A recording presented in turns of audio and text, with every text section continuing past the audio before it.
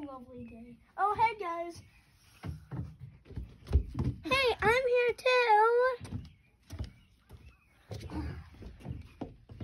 So today we, um, you see we have ice here. We are going to see how long it takes for um, the ice to melt in the heat wave. So it says it should be around 32 degrees. So we're gonna. This is gonna be part one, and we're gonna do part two maybe in the next couple weeks, depending on when this video comes out. So just showing on how it looks now. It's right out of the block of ice.